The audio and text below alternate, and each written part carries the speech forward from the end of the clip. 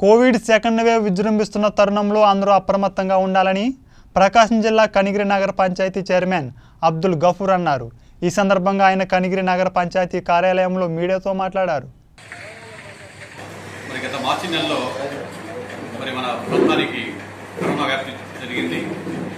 ఆ సమయం నుంచి కూడా మేము కేంద్ర పంచాయతీ లెవెల్లో మా టీం కానివ్వండి మా పార్టీ శ్రేణులు మొత్తం కానివ్వండి మా ఎమ్మెల్యే గారు ప్రతి వార్డు తిరిగి కరోనా వ్యాప్తి కాకుండా కరోనా నివారణ కోసం చాలా చర్యలు చేపట్టి మా ఎమ్మెల్యే గారు వారి సొంత డబ్బులతో ఈ ప్రాంతంలో ప్రజాసేవ చేశారు.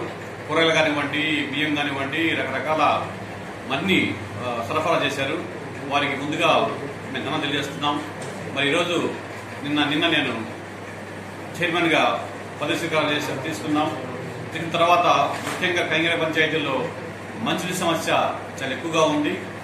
రాబోయేది సమ్మర్ కాబట్టి నేను వాటి మీద ఎక్కువ దృష్టి పెట్టి నీటి ఇబ్బంది లేకుండా చేసిన బాధ్యత తీసుకొని నేను పని మొదలుపెట్టాం. మరి పోతే సెకండ్ ఇష్యూ వచ్చేసరికి మరి కరోనా మరలా సెకండ్ ఫేజ్ మన ఏరియాలో రావడం జరిగింది. ఆల్రెడీ కనిగిల్లో ఫైవ్ కేసెస్ రిపోర్ట్ చేశారు. మరి జిల్లాలో దాదాపు త్రీ హండ్రెడ్ దాకా కేసు రిపోర్ట్ చేశారు. దాని గురించి ఇప్పుడే మా హెల్త్ డిపార్ట్మెంట్ వచ్చి నన్ను కలిశారు. మేమంటున్నామంటే ఆల్రెడీ రేపటి నుంచి మైక్లో అనౌన్స్ చేస్తున్నాం.